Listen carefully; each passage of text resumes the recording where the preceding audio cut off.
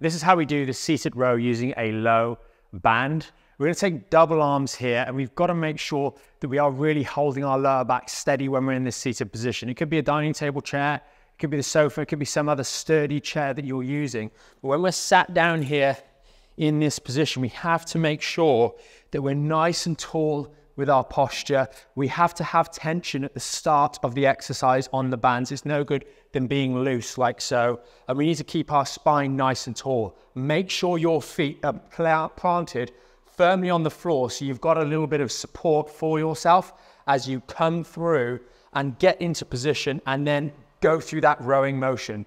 Just like when we're standing up tall, the row should be coming straight into that chest, meeting a nice little chest pop at the end and our head and eyes should be on the horizon without our head going forwards, up and looking like so. Everything from here down needs to stay nice and strong throughout the entirety of this exercise.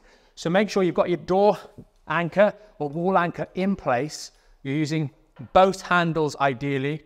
You might need to double up bands here to make it a little bit stronger for you, but make sure as always that the anchor is firmly in place. Let's sit down Make sure you've got some tension on the bands here. Brace our feet nice and strong, our core and spine nice and steady, and our head and eyes up on the horizon. I'm going to go through 10 reps together.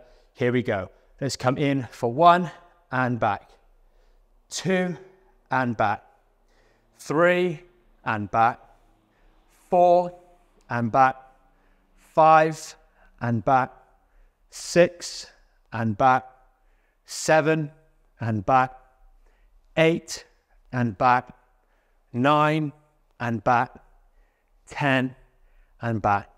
And that's how we do the seated row. Find this demonstration helpful, check out the link down below for free access to our extensive library to stay injury free while you're getting back in shape.